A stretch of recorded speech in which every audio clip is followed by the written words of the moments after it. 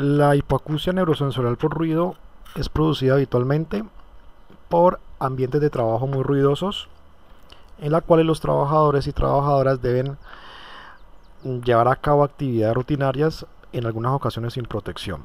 Entonces, básicamente todo empieza cuando en los ambientes de trabajo existen bombas o motores o equipos muy ruidosos a los cuales el trabajador está expuesto 8 o 9 o 10 horas diarias.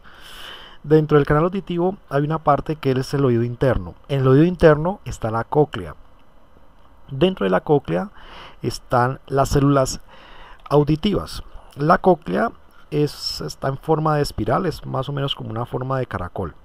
En la imagen podemos ver tres fotografías. La primera de la izquierda es de una, una persona de 17 años en donde casi no ha estado expuesto al ruido. La cóclea es normal, los receptores están intactos.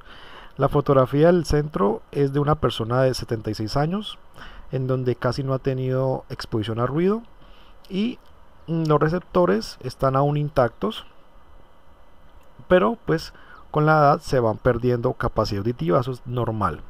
Y ya en la última imagen de la derecha vemos a un trabajador que recibió una gran cantidad de ruido durante su vida laboral de 59 años. Aquí ya la cóclea está dañada y hay receptores dañados o destruidos.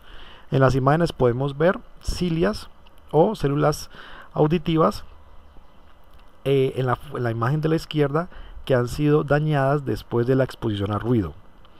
En la fotografía de la derecha podemos ver cilias antes del ruido. Se puede mm, analizar el comparativo entre el antes y el después mm, de la exposición.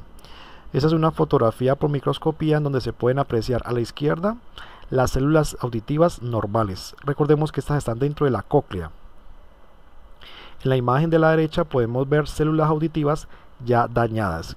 ¿Qué produce esto? En el caso de salud ocupacional, pues esto lo produce el exceso de la exposición a niveles altos. Eh, normalmente esto lo produce eh, decibeles por encima de los 80. Mm, es por eso que todo trabajador que se exponga a más de 80 decibeles debe obligatoriamente utilizar protección auditiva.